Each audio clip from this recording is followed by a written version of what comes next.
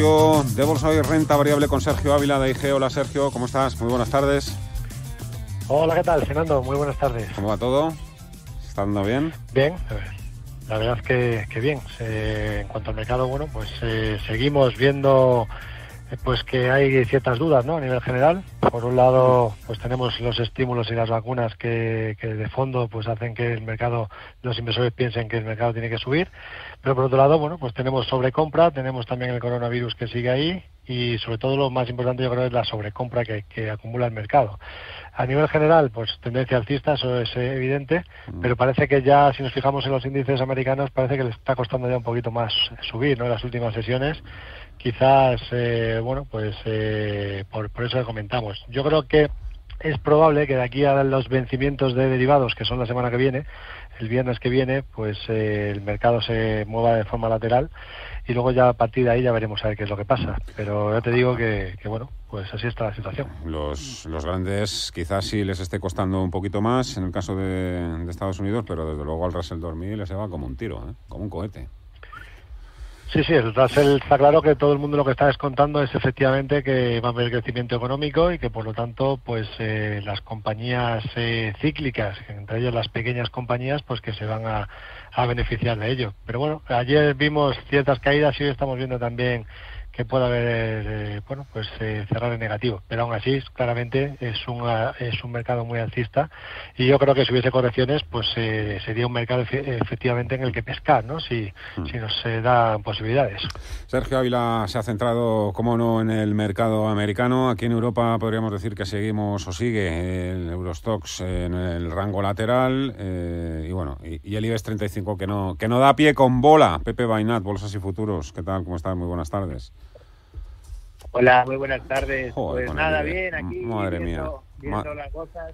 ¿Y, y Alibes qué? Porque este... Bueno, madre mía, tampoco. A ver, el IBE Hombre, no. muy bien la zona del soporte, el 7.650 se lo aguantó muy bien, ha tenido un primer tirón fuerte y ahora pues esto parece una corrección lógica de ese tirón para coger un poco de fuerza y por qué no superar máximos anuales. Yo soy optimista, ¿qué quieres que te diga? Máximos anuales que los ha hecho, ¿dónde? 8.300, 8.400, dices de 2021. Marcó, sí, marcó ahí joder, Joder, es que, si, es que si no superamos los máximos anuales... Pepe, apaga y vámonos, de verdad. Hombre, hombre, esperamos todos, por lo menos eso, ¿no? No, no le vamos a, pedir que lidere el ranking, ¿no? En 2021 del índice que más ha subido en el mundo mundial, pero Hombre, cerrar por encima bueno, del máximo tenemos mucho que recuperar, ¿eh? ya, ya, sí, sí, todavía, yo pienso que el IBEX puede recuperar mucho. O sea, puede ser, la, para mí la subida que hubo en noviembre, que superamos a todos los mercados, debería en algún momento tener un poco de continuidad. ¿eh? No sé ni cuándo ni cómo, pero cabe la posibilidad. Yo no, yo no, no tiraría la toalla tan rápido. Venga, vamos a empezar con algunas notas. Vamos a empezar un poquito con mercado doméstico, nacional, y luego poco a poco vamos entrando ya de lleno en, pues eso, en lo que a todo el mundo le está interesando en estos momentos. Tira, Vivi. Viviani. Viviani. Ah, vale, que se te ha quedado colgado. Bueno, pues no pasa nada. Tengo por aquí, por ejemplo, Sergio, para ti, buenas tardes. Dice, estoy queriendo entrar en Repsol. ¿Cómo lo ven?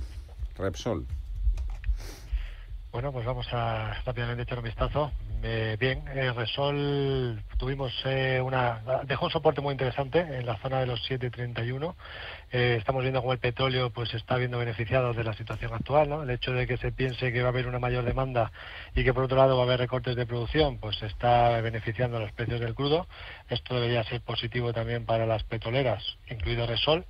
Con lo cual, bueno, pues se mejoró mucho con la superación de, de, la media el día 10 de noviembre, que superó la media a largo plazo, después de la noticia de las, de las vacunas que lanzó todo el mercado hacia arriba. Y desde ahí, bueno, pues le está costando un poquito en los últimos días eh, terminar de arrancar, ¿no? Pero, pero bueno, yo creo que eh, lo más probable sería la continuación de la tendencia, siempre y cuando pues no pierda el entorno de los 7 eh, euros. Mientras no pierda 7 euros, que está bastante lejos, estamos en 8,81, lo más normal sería que continuemos con esa tendencia alcista. Es cierto que tiene una resistencia muy cercana a los 9,13, que son los máximos que nos dejó el 8 de junio y además ahí nos dejó una vuelta eh, en el día pues bastante importante, bastante clara. Eso sí que muestra una resistencia a tener en cuenta, vigilar muy bien. Y luego tendríamos la zona de los 9.43, 9.50. eh, eso sería lo que habría que vigilar. A partir de ahí lo más probable es que continuemos con la subida. Yo creo que también, igual que pues que hemos comentado anteriormente, que el mercado, al fin y al cabo, España tiene que mejorar también. Lo que pasa es que vamos más lentos que, el resto, ¿no? Y por tanto, bueno, pues eh, a ver si finalmente, eh, después de que veamos una corrección, a ver si llega el mercado ya empiece a valorar que efectivamente ya es momento de entrar con fuerza y sobre todo que entrar en las cíclicas. Cuando eso ocurra, probablemente el mercado español pues se pueda haber beneficiado en, su conjunto, sobre todo el IBEX 35. Así que yo en este caso, pues para mí sería mantener Resol mientras no pierda los 7.33. Eh, para entrar tampoco quizás eh, hay valores más fuertes en los que posicionarse pero bueno, si se está dentro, mantener. Ahora, ahora te pido, Sergio, también un, repasito por el sector de utilities. Hay varias preguntas. Eh, preguntan por Iberdrola y por Endesa. Yo creo que también podemos hacer un comentario en Endesa, Iberdrola, Red Eléctrica, Nagas Natur y así un poco en líneas generales. Antes, vamos con, con una nota. Estas van para ti. Pepe, venga. Hola, buenas tardes. Soy Cristian de Palma. Eh, tengo BioSearch y Berkeley Energía y quería consultarles, las tengo ambas con ganancias, eh, si me pueden decir alguna opinión sobre estas dos acciones y eh, alguna algún soporte de ganancia próximo. Gracias. Muchísimas gracias, Cristian. Pepe, a ver. Vale, pues bueno, pues la verdad es que eh, de las dos que nos ha comentado, la que está subiendo hoy fuerte es Berkeley. Ha tenido ahí un movimiento mm. interesante. Y bueno, te, comento las cómo están exactamente. Eh, las tenemos, a ver, ya tengo aquí, ya tengo, tengo en pantalla. Bueno, pues Berkeley hoy ya ha tenido subida con, con volumen. La verdad es que llevaba un tiempo consolidando, pero no lo está haciendo nada mal. Tiene, tiene, tiene bastante buen aspecto, está por encima de su media 200. Este tipo de, de acciones pues son las que pueden tener una revalorización muy fuerte, pero también son acciones pues bastante arriesgadas, ¿no? Porque bueno, dependen de, de, pocas cosas, ¿no? De la mina que tiene y de poco más. Pero, pero la verdad es que técnicamente ha hecho, ha marcado una especie de triángulo que acaba de romper al alza y bueno, parece que el objetivo más cercano sea el de llegar a su zona de, de máximos que hizo en el 2020, en la zona de 0,656 y no pinta no pinta nada mal, nada mal. Por debajo tiene un stop muy claro, la zona de 0,369, o sea, yo de 0,365 no lo dejaría bajar, pondría un stop por ahí y, bueno, con esta la verdad es que no, no pinta. El caso de, de Biosearch eh, no está pintando mal tampoco, la verdad es que está bien, las últimas los últimos días también está comportándose bastante bien, ha mantenido su media de 200, la ha tocado muchas veces y ahora parece que por fin pues quiere quiere hacer algo. Eh, se ha mostrado un poco, un poco pesada últimamente, pero no pinta mal. Pinta que lo puede continuar haciendo bien. El stop yo lo pondría en la zona de 1.27.5 y si no pierde esos niveles, valora mantener y vamos a ver qué pasa porque estas un poco más pequeñas pueden tomar un poco el relevo y hacer cosas interesantes. Sector de utility, Sergio. Gente evidentemente muy preocupada. Vale, empezamos eh, por Iberdrola, ¿no? es la primera que me has comentado. Bueno, el problema que están teniendo las utilities ahora es que estamos viendo subidas de los tipos de interés en los bonos.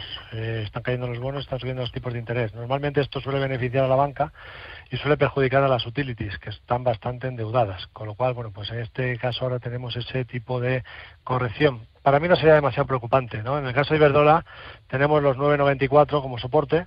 Creo que ahora mismo, bueno, pues está atacando la zona de la media eh, yo si la tuviese en cartera creo que la mantendría perfectamente mientras no pierda esos 9,94. Ahora bien, para entrar, pues yo me esperaría que superase la zona de los 11 euros, 11,18, que ya nos empezaría a marcar una sucesión de mínimos y máximos crecientes rompiendo la rompiendo la, fase correctiva en la que se encuentra ahora no estamos eh, podemos canalizar el precio desde el día 8 de enero y ahora mismo pues estaremos dentro de un canal bajista de corto plazo que es pues es una fase correctiva con lo cual a mí me parece interesante verlo en el largo plazo. Yo creo que además que tiene activado un objetivo hasta los 13.50, con lo cual, bueno, pues las correcciones creo que son interesantes para, para subirse en el medio y largo plazo. Eh, la otra que me comentabas era Endesa, ¿verdad? Echamos un vistazo, echamos un vistazo a todas. Aquí en Endesa lo veo lo veo peor. No, el aspecto técnico se ha visto un poquito perjudicado recientemente, vimos cómo rompió, dejó una especie de doble techo en el entorno de los 24,10 más o menos, ha dejado aquí eh, perdió el mínimo entre máximos, que se situaba en los 21.52, y esto eh, nos eh, puede eh, nos puede anticipar que puede haber un riesgo adicional de caídas, con lo cual el objetivo teórico de caída por ruptura del doble techo podría estar hacia el entorno de los 18.78, con lo cual aquí bastante más cuidado que en el caso de, de que me gusta más. por decir algunas más dentro del sector. Eh, vamos a comentar eh, eléctricas. Eh, ¿Quieres que vayamos a las renovables o, directamente...? No, no, no, espérate, que me estoy dejando las renovables, pero red eléctrica sí que tengo por aquí una entrada, un WhatsApp. Red eléctrica, es Susana, dice que, perdiendo dinero ya con red eléctrica. O sea, vale, pues sí, red eléctrica tiene, tiene la misma situación justamente que la que acabamos de comentar.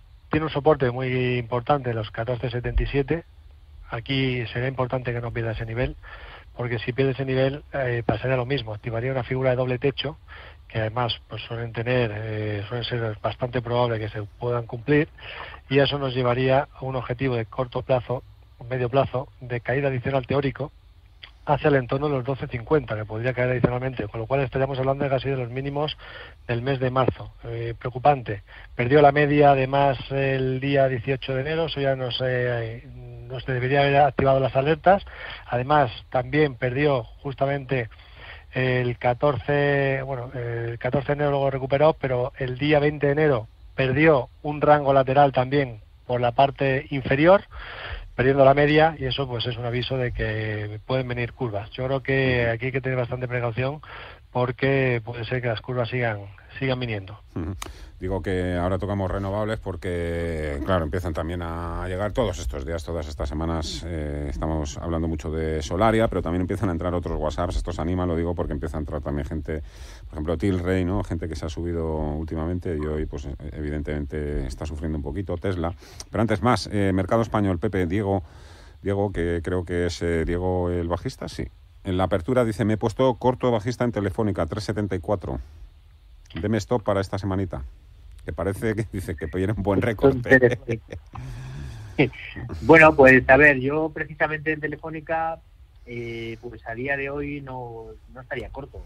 Yo pienso que Telefónica ha hecho, está, está luchando por superar su media de 200, es decir, la zona de 373 que superó con ese gap que hizo el día de la noticia fue una señal bastante positiva y a partir de ahí pues tuvo un recorte que cayó hasta la zona eh, de los 3,54 aproximadamente y para mí mientras no pierda los 3,54 lo veo mucho más positivo que negativo.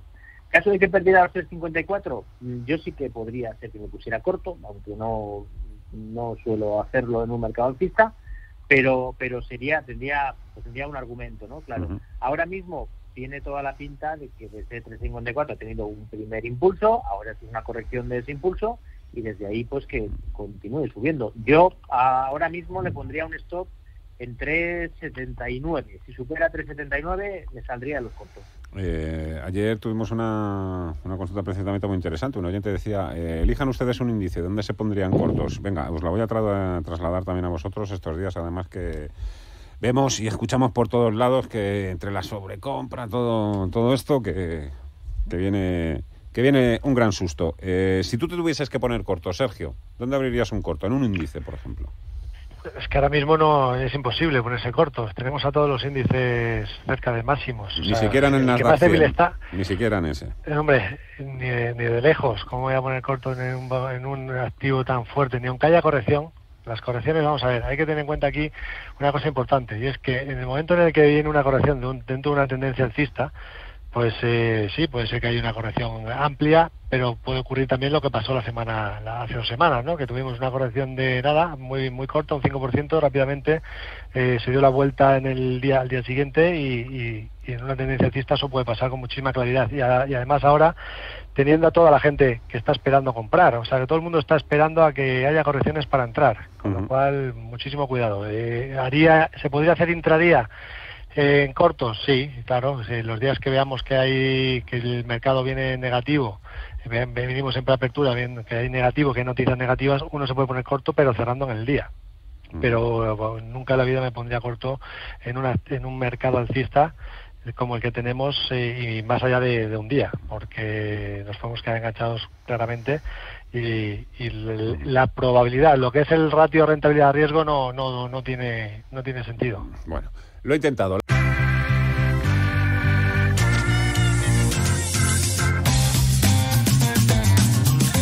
Seguimos, consultorio de bolsa hoy con Pepe Bainato, los así futuros, con Sergio Ávila de IG. Sergio, eh, el Russell 2000. Eh, algo raro, algo extraño, nada que deba preocuparnos. Desde luego el movimiento hoy y en el, en el intradía muy bien y ahora mismo es que la curvita hacia abajo es, está bien clara. Bueno, efectivamente es lo que comentábamos antes, que mm. parece que, entra algo de, presión, pero tampoco demasiado preocupante de momento, ¿no? Mm. Es cierto que la sobrecompra pues es importante. Hoy estaríamos saliendo de cerrar así de niveles de RSI por debajo de 70, lo cual nos está indicando que puede venir alguna corrección en el corto plazo, hay que tenerlo en cuenta, pero aún así eh, la tendencia es claramente positiva. Es decir, puede haber una mini corrección. Bueno, pues tenemos soporte en el entorno primero en los 2.196, que fueron los máximos anteriores que nos dejó el 25 de enero. Ahí podría haber eh, cierto soporte. Y luego tenemos soporte en los 2.038. Eh, Evidentemente, si uno está dentro y quiere materializar beneficios, pues sería un buen punto de, cerrar posiciones y, ganar y esperar a ver si hay correcciones para entrar a mejor punto. Yo creo que probablemente pueda venir una corrección, no, no es descartable y de hecho mm. creo que sería muy sana. Venga, la siguiente mapa también para ti, eh, Sergio. Hola, muy buenas. Quería hacer una consulta al analista. Tengo, tengo comprado Tesla a 870. Sí, es verdad que las compré un poco, poco mal, un poco tarde. Entonces, ahora mito estoy perdiendo un poco, pero, pero tengo dudas si, si quedarme con ellas y aguantar o deshacerme de ellas. Pues quería que me informara soportes y resistencia sobre Tesla y a qué le parece, si aguantar o deshacerse de ellas. 870. Y otra es con 2S. El ticker es Atos. Atos. Atos la compré a 4,41 y igual quería preguntarle soporte y resistencia y qué le parece mm. este valor, si aguantar o también deshacerse de ella.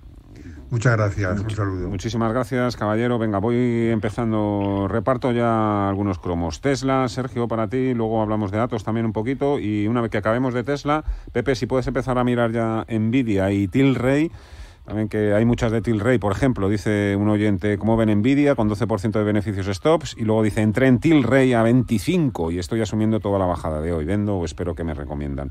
Venga, vamos con Tesla. Sergio. Bueno, que en el caso de Tesla, ¿no? ¿Qué es lo que está pasando? Pues que efectivamente el punto de entrada era ya muy muy negativo. Eh, Tesla se puede haber entrado en el entorno de los 540, que fue cuando rompió los máximos anteriores, que ahí sí que nos activaba un segundo impulso con objetivo 778, que ha cumplido ya. Ahora ese sería soporte, 778, y, bueno, pues mientras no pierda ese nivel yo lo aguantaría. También hay que tener en cuenta cuál es el horizonte temporal en el que quiere trabajar y cuál es el eh, cuál es la capacidad que podemos tener de asumir una caída, ¿no? Si queremos ir a largo plazo, pues eh, podría ser que Tesla pudiera corregir incluso hacia la zona de los 554 y, y, eso no implicaría un cambio de tendencia en el largo plazo. Podría seguir estando alcista en el largo plazo incluso si cayese hacia esa zona. Ahora bien, si va en el corto plazo y, no quiere pues eh, asumir una, un drawdown de ese tipo, pues evidentemente el stop estaría en los 778. De perder ese nivel, lo más probable es que debiésemos una caída como mínimo hacia los 656, ¿no? cierta corrección después de toda la subida que ha acumulado pero mientras no pida los 778 tampoco sería para, para preocuparse, ¿no? porque de momento está ahí consolidando un rango eh, y por lo tanto pues el soporte sigue aguantando. Envidia, tío el rey. Pepe. Bueno, pues Nvidia la verdad que lo está haciendo muy bien. Hoy rompe máximos históricos, lo cual siempre es una señal de, de mantener, una señal de subida libre, es una señal de más fortaleza que hay en, en la bolsa y una señal claramente claramente alcista. Tenía los máximos en 589, aquí ya lo hizo en septiembre, a principios de septiembre y luego en noviembre volvió a tocar ese mismo punto y cuando más veces toca una resistencia, cuando es superada, pues más importante es la superación, ¿no? Yo ahora mismo, por si acaso, mm, y es un fallo alcista, le pondría un stop en la zona de 568, pero de momento creo que es un mantener clarísimo. Y luego, bueno, el caso de Tilray, pues es un caso de estudio total de lo que pasa cuando, cuando viene la especulación rabiosa en, un valor. Que, bueno, que, la gente se piensa que, un valor puede subir a esa velocidad y seguir subiendo durante mucho tiempo, pero no es así. Cuando eso ocurre, pues siempre viene una corrección acorde a la subida. Y además es que precisamente... Ay ver desde, desde el inicio de la subida cuánto tenía que corregir y, ha corregido ya el 50% de la subida en una sola sesión. Es decir, que, siempre tiene al final esas correcciones y cuanto más sube, más fuerte es la corrección. Ahora mismo, la verdad es que entre la zona de 37 y la zona de 30 seguramente se pare de bajar, tenga un nuevo impulso alcista, pero a partir de ahí ya veremos. La verdad es que yo si volviera a tener un impulso a la zona de, de 48 o 50, yo creo que con los beneficios que tiene mucha gente no la dejaría correr mucho más, me saldría y, bueno, estaría tranquilo. A ver, Pepe, ahora te pregunto por Snapchat y por ASML. También hay varias, varios oyentes que preguntan por esta compañía europea. En el caso de ASML, dice uno de ellos, salía 4, 464 y he vuelto a entrar a 390. Bueno, eh, Snapchat ASML, pero antes, venga, más notas. Para Buenas tardes, eh, eh, soy Luis y quería preguntar sobre el valor francés Alstom. Eh, estoy comprados en 47.55. Gracias. Alstom, los trenecitos. Pues vamos a, vamos a ello. Vamos allá. la tengo ya en pantalla. Bueno, pues en el corto plazo está cotizando por debajo de la media, lo cual eso no es buena noticia. De hecho, ha dejado una especie de divergencia bajista en la zona de los 49.05. Eh, Eso nos puede dar cierta corrección adicional. Eh, el soporte que tenía entre, entre los máximos que nos había dejado estaba en los 44.80, con lo cual a partir de aquí, bueno, pues no sería descartable que el precio pudiera pues corregir algo más, debería decir hacia la zona a la que se podría se podría ir, al menos eh, los 40,30. Eh, lo que no me gusta es que haya perdido la media valor por debajo de la media, yo pues no me gusta estar. Pero bueno, pues el siguiente soporte lo tendría en los 36.55 y, y luego ya los mínimos de, del mes de marzo, pero no, no me gusta el hecho que haya perdido ese nivel. Mala, mala pinta. Eh, Vivi, ¿tienes por allá algún dato? Sí, lo podemos hacer. Ponme un poquito sintonía Wall Street, anda, que así va a quedar todo mucho mejor. Santi, por favor. No, lo digo porque tenemos salida hoy a bolsa en Estados Unidos, una red social, ¿no? OPV de contacto, sí, la red social de contactos Bumble, que tenía su ah. precio en la iPod en 43 Pero contacto dólares. Estilo, sí, está como Tinder. Tinder ya en su día cuando debutó, vaya, vaya subida lleva desde entonces, pues esta es competencia. Bumble ha debutado en el Nasdaq a 76 dólares, es decir, pues prácticamente un 80% está marcando sus primeros precios por encima del precio de salida, que eran los 43 dólares. De esta forma, pues ha hecho Bill billonaria casi mm. casi a su joven fundadora. Tiene 31 años. Además a Blackstone que también ha hecho caja, que estaba con el 90% de las acciones. Qué fiebre, qué fiebre, Sergio Pepe. No, sé, ¿de quién es culpa esto? De los bancos de inversión que no valoran de forma adecuada o ajustada el precio de las acciones o qué pasa? Esto no es tampoco habitual, un 80% de subida el primer día. Pues está el mercado muy loco, la pues verdad mucho dinero, ¿no? Hay mucho movimiento, te puedes apalancar todo lo que quieras. ¿No, Sergio? Totalmente. Aquí ahora mismo ya estamos viendo que, estamos en ciertos activos, pues eh, volviéndonos un poquito locos en cuanto a cuál es la valoración. Bueno, pues eh, también te digo que en este caso yo a mí no me gusta entrar en acciones que acaban de salir a bolsa, prefiero que tenga un poco de recorrido y que se tranquilice la cosa antes de lanzarme. Normalmente suele ser que cuando salen, pues eh, si hay expectativas que se han ido creando de marketing anteriores, pues eh, que tengan un buen subidón en el día, pero pero bueno, hay cierto riesgo también importante en estas cosas, así que pero bueno, enhorabuena a aquellos que hayan entrado porque fíjate lo que se han llevado. Sí, señor, es un poco la noticia en estos momentos. Nos quedaban Snapchat y ASML, ¿no? Eh, Pepe, por ahí. Sí. A ver. Sí, bueno, eh, dos valores muy alcistas, en máximos históricos ambos. De hecho, ASML hoy mismo ha marcado nuevo máximo histórico. máximos y mínimos crecientes y cuando esto ocurre en un valor, la clave está en que no pierda esa sucesión de máximos y mínimos crecientes. En este caso subió hasta 475, de ahí cayó a 428 y ahora está en 480 superando el máximo anterior, pues es fácil. El stop bajo del mínimo creciente en la zona de 427 y mientras siga subiendo, pues tranquilidad con él. En el caso de, Snap, pues bueno, pues también está el máximo histórico, también ha superado un nivel muy importante la zona de 57, ahora mismo está cotizando a 62.75 y además una vela muy buena que marcó hace ahora cinco días, una vela blanca con un mínimo en 55,5, justo por debajo de la resistencia que ahora es soporte, por lo que tenemos el stop muy claro. En 55,40 yo le pondría el stop y es un valor que, bueno, conforme está de loca la bolsa americana y las valoraciones que están pasando y todo esto, pues que puede hacer cualquier barbaridad. Yo lo que sí que recomiendo es que si un valor se vuelve loco y sube una barbaridad en dos o tres días, pues que saliéndonos de ese valor, seguro que podemos entrar mucho más abajo en dos o tres días. eh, ponme a Pavarotti, venga. Hoy si schiarisce la voce ricomincia il canto. Te voglio Cualquiera que nos haya seguido en los últimos 10 años sabe de quién vamos a hablar en estos momentos, Paul.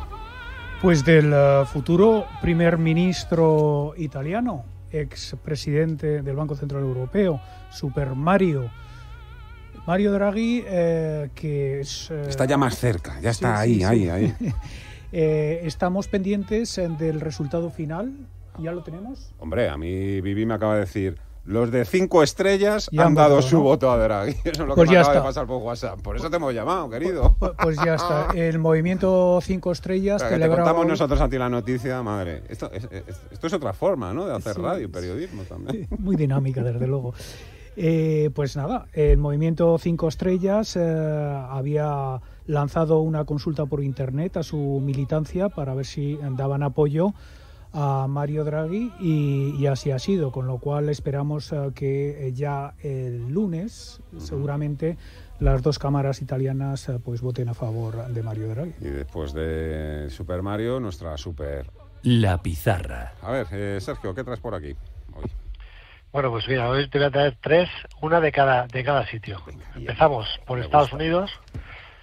Estados Unidos me gusta muchísimo lo que está haciendo eh, de Kraft Heinz, compañía del sector de alimentación, que estaría rompiendo máximos, a ver si termina de cerrar por encima de los 35.54. Nos estaría confirmando eso una superación del máximo anterior que nos lo dejó el día 17 de agosto y eso nos activaría una, un objetivo por segundo impulso alcista hacia el entorno de los 44-40, con lo cual podría tener bastante recorrido y además tiene bastante cerca soportes en el entorno de los 31.62 sería el soporte más más importante. Esto en Estados Unidos. Luego como sabes que llevo yo unos días buscando compañías en Asia pues te voy a decir una que es eh, japonesa esta vez eh, Daiwa House Industry que compañía del sector de eh, real estate de inmobiliaria que bueno pues está, rompió el día 20 de noviembre una directiva bajista muy importante que guiaba el precio desde el 22 de enero de 2018.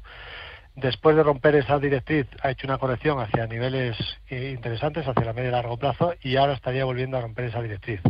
Con lo cual, pues eh, creo que es un valor a tener en cuenta a partir de aquí. Y, otro un poquito eh, más cíclico para irnos en Europa, pues me gusta Adidas también en el corto plazo lo que está haciendo que pues te digo exactamente el aspecto técnico rápido que es que eh, bueno tiene está generando una especie de triángulo. La ruptura del triángulo sería de superar los 300 tendríamos luego los 317 yo creo que desde aquí lo más probable es que se vaya a los máximos hacia los 317,40 como mínimo y luego ya veremos si a partir de ahí continúa. Soporte los ha dejado en los 259,80 así que estos tres serían los valores para hoy. Perfecto Pepe. Eh, Sergio ha puesto el listón muy alto ¿eh? bueno, pues yo lo voy a, yo voy a hacer más fácil. Yo me quedo con el mercado doméstico. Son dos valores que todo el mundo conoce que lo pueden hacer muy bien. Uno de ellos es ACS porque ha tenido una corrección y justo en la corrección ha perdido eh, un mínimo que tenía un soporte en 24.49 durante el día, pero lo ha recuperado haciendo una especie de martillo justo en su media de 200, que es una señal que a mí me encanta. Y a partir de ahí no solamente eso, sino que eso lo hizo ayer y hoy lo confirma con una vela blanca en contra del mercado, con lo cual eh, la señal confirmada, el punto perfecto de compra ahora mismo en ACS. Y el segundo sería Inditex. Inditex es un valor que lleva ya bastante tiempo ahí para abajo, que no acababa de hacerlo bien, pero ahora en este último impulso ha superado la tendencia bajista que tenía, justo en este último impulso ha recuperado su media de 200, ahora lleva unos días corrigiendo un poquito, hoy ya parece que dudaba en la caída, ya ha cerrado un poquito más arriba que abajo, por lo cual pinta bastante bien. Entonces yo me quedo con estas dos del mercado doméstico. Perfecto, ahí tengo cinco hoy para la pizarra. Pepe Bainat, Bolsas y Futuros, muchísimas gracias, un fuerte abrazo. Sergio Ávila y G, hasta la próxima, que tengas feliz semana. Hasta otra los dos, muchísimas gracias de todo corazón.